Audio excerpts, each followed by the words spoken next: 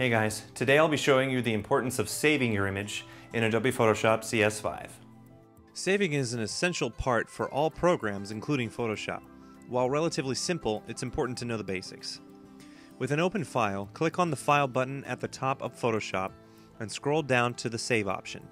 If your file has been previously saved, it will save on its own.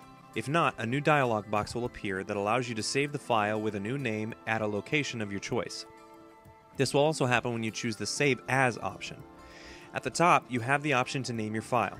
Below, you have options on where to save the file. Options on how to do this vary depending on your operating system. One of the more important options is the ability to save your picture in different formats. Photoshop or PSD is the format you will use when you are not done editing your file or you want to save it for the future. The other formats vary depending on your needs and will prove to be an essential asset for saving files. You also have the option to save your image as a copy, and if the image has them, you can save separate elements such as layers, channels, and notes. Thanks for watching. You can send any questions or requests for Photoshop to requests at mahalo.com, and please be sure to rate, comment, and subscribe below.